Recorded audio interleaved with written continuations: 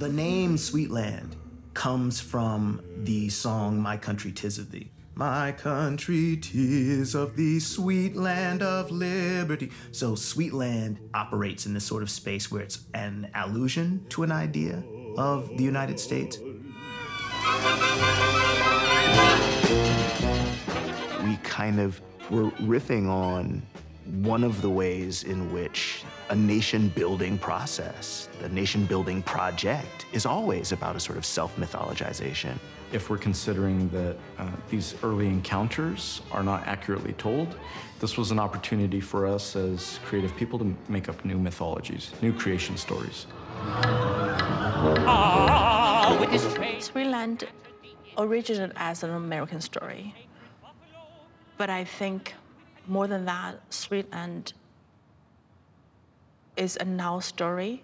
It's really just looking at different power structures and the collision of paradigms and what has been redacted from our history and our experience as participants in a world that has been dominated.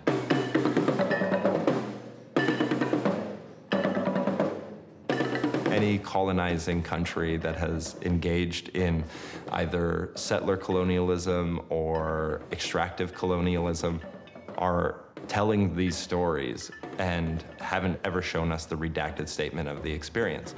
They even undermined their own suffering in these stories, in the retelling of these stories. They've developed a myth that is their history.